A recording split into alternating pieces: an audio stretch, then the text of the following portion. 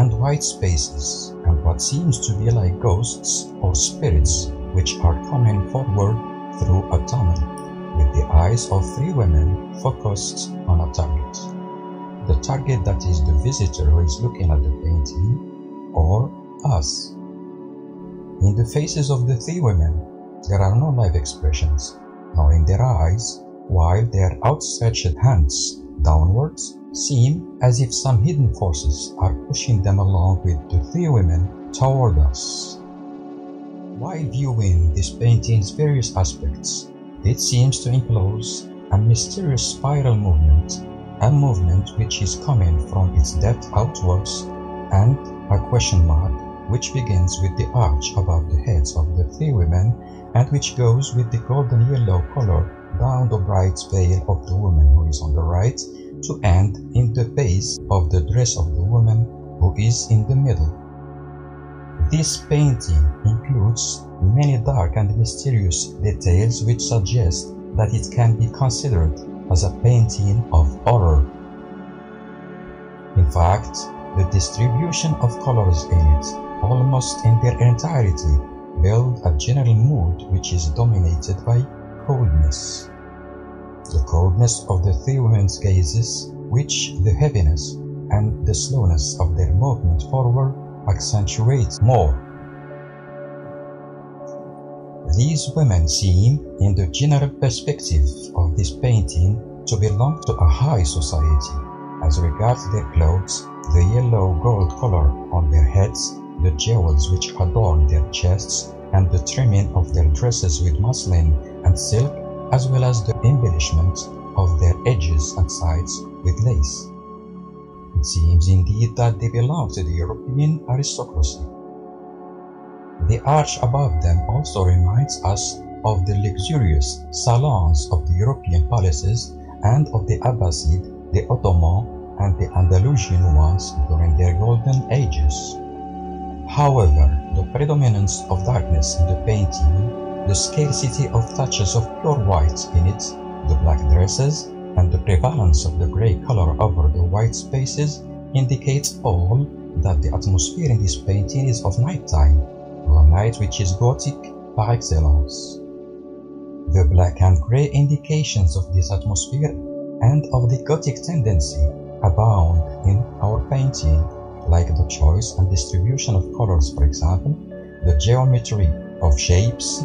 the lack of balance between white and black, where blackness besieges the rare touches of white and where the grey shadows encircle and lock up all the spaces of light.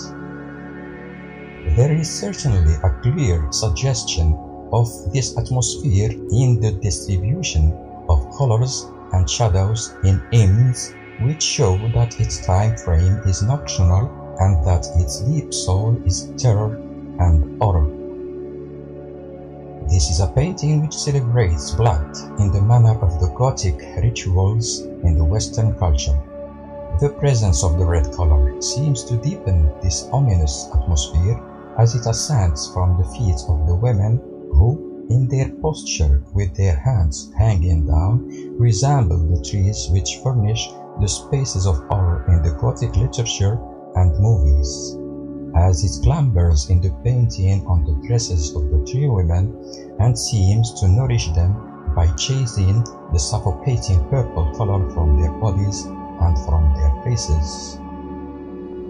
The painting ends in its entirety gives us a delicious impression of disease, which invites us to go through it against our will, especially for a man. But,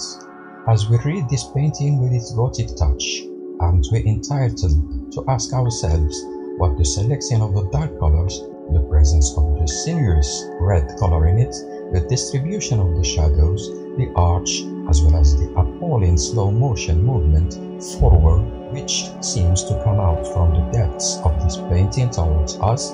aren't we entitled to ask ourselves what do they all mean? What does this dark abundance or this predisposed inspiration mean in the Arab sphere of art? What does it imply in the painting of Jawaher Al-Sayed, the creator of this work of art, in special lines colors and shadows. This Saudi visual artist, whose name is well known to all those interested in the movement of visual art in the Gulf region, where she actively interacts with her peers in this field and further in the Middle East as well as in Europe. What is a painting which attaches a Victorian influence to it with all its terrifying Gothic shape? What is it trying to convey to us as a message? in the language of colors and forms, in movements, and in the inclinations of lines, and finally, with the struggle of light in it against darkness.